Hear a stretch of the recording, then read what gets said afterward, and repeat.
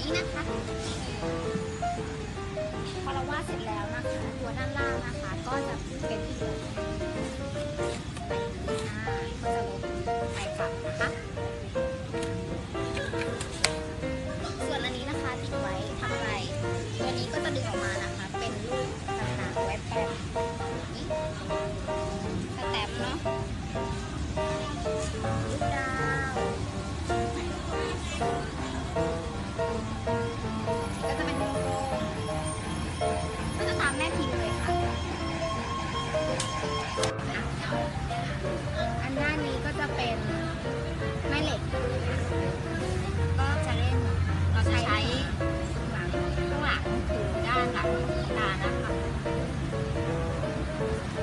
พื้นที่ตัวแม่เหล็กนะคะ แล้วก็จะมีช่องให้ใส่ตำแหน่ง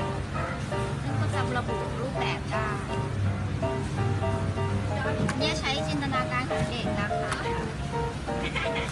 ได้หลายแบบนะคะ